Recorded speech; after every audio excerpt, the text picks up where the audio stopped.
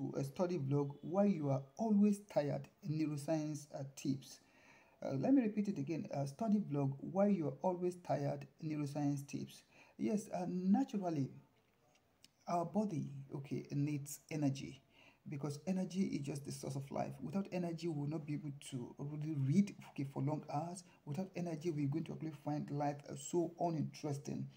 Uh, so, in order to to improve our learning okay, and study productivity, there is a need for us to look for ways in order to uh, put our, our body okay and our brains okay in that state for for a, for um, a creative work okay like studying okay uh, thinking imagination and others. And uh, how, how do those students okay do this? I have some tips okay that or ideas that i've gathered okay as a result of informal research i've, I've i have them here and i strongly believe that these ideas will really help my students all over the world to improve their academic uh, performances. Okay the first thing i want to really talk about here is this. Please be um, be careful of the amount of caffeine coffee that you take. For example uh, i'm going to advise you to always take cof- coffee before maybe 4 p.m because if you take anything okay beyond that it's going to really delay okay your sleep. It's going to really uh, extend okay the time that you fall asleep okay at night. And do not forget early to bed okay early uh, to rise. So you must be conscious okay and careful okay of the amount of coffee that you take and the time that you have, you take that coffee. Because studies have actually shown that coffee has the capacity of remaining in our body system for for very long very very long hours between five to seven hours and uh, it has the capacity also to do what? To block those receptors that release uh, melatonin the, the the chemical that uh, makes us fall okay asleep. Then one other thing i want to really say is this uh, please and, and please um, make sure that maybe in the evening okay you don't take alcohol. Okay if you take alcohol it's going to really delay okay your the time that you you fall asleep and if you go to bed late definitely it's going to really rub off on your energy levels okay the next day okay the med- medical personnel all over the world okay the world health organization and and other agencies that are that are related to okay, whose responsibility have to do with human health have said that eight to uh, uh, seven to eight hours of sleep is the prescribed okay hours for okay for any for individuals okay uh, to to act, to actually sleep. Then another point that i think is important that you must understand your circadian okay rhythm. Circadian rhythm has to do with okay what time of the day okay um or how many hours okay is um or when do i normally read okay the best. Like i i have a brother okay he's, he's doing his phd now. Okay my brother likes reading daytime okay anytime you force him to read at night it affects okay his activity okay the next day.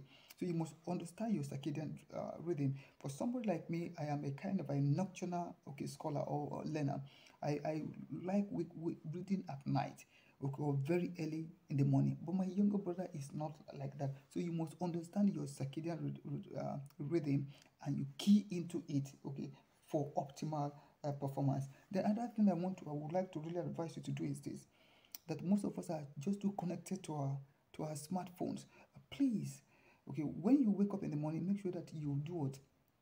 You expose yourself, okay, to sunlight, or if you if if you if you live in a kind of climate where sunlight does not come come out, okay, uh, that the sun does not rise shines, okay, in the morning, you can if you have uh, maybe gadgets, okay, like like lamps okay white lamps okay uh, you can actually put them uh, on so that okay, photons can can do what can have access okay to your to, to, to, to your visual uh, system to, to your eyeballs because our eyes uh, we see through uh, ph- photons.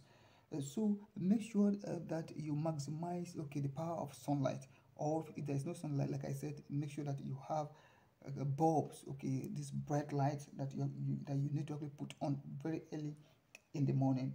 And then the another point that is what uh, stressing here is that i'm going to really advise you if you don't want to be tired the next day okay so that you have enough energy to study to learn is that make sure that you indulge in exercise.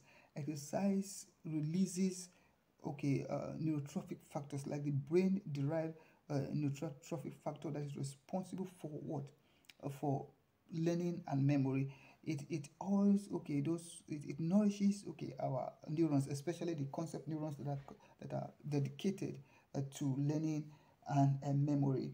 Uh, then I let me make sure that you always go to bed very early early so that the next day you would wake up okay feeling very energized. Okay and uh, these are the points that i that i uh, these are the information that i got and i said okay let me share them with my global audience. For the fact that you've actually listened to okay you've watched this video i have a special gift for you. Uh, please subscribe to my channel and make sure that you drop okay, a comment and add your uh, email. What i will do is that i will read your comment and i will send you the latest book that i've written. Okay it is titled uh, top secrets for acing all exams in the world. This is my second book. So i've written about uh, six uh, books now. So i would send that book to you.